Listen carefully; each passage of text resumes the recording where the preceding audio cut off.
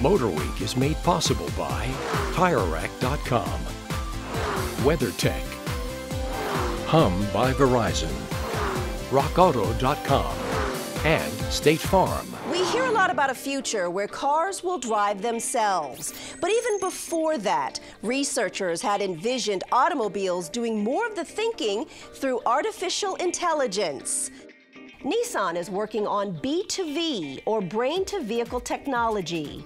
Here, a driver wears a device that monitors brain waves. By tapping into the brain's signals, their system can predict what the driver is going to do and do it quicker, like emergency steering or braking. Meanwhile, Volkswagen is teaming up with tech company NVIDIA to develop Intelligent Copilot for their forthcoming ID Buzz electric minivan. Here, sensors monitor both the inside and outside of the vehicle. VW believes artificial intelligence can learn how to assess situations, analyze the behavior of others on the road, and then make driving decisions. Closer to term, face recognition may soon replace a key fob for unlocking your car. And even sooner, Amazon's Alexa is coming along for the ride in Toyota and Lexus vehicles. Starting in some models this year, drivers will be able to talk casually to Amazon's cloud based service rather than using the precise words and phrases most other voice recognition systems demand. California based Fisker Incorporated is among the latest to enter the electric car arena.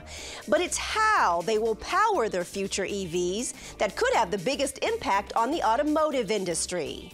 Fisker plans to launch this wild EMotion electric sedan in 2019. They claim it will have a range of 400 miles between charges by using a denser lithium ion battery pack.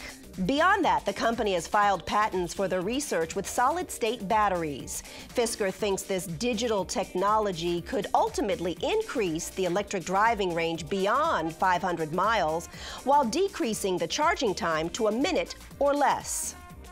Of course, only time will tell if these innovative ideas become everyday realities. And that's it for this week's Motor News.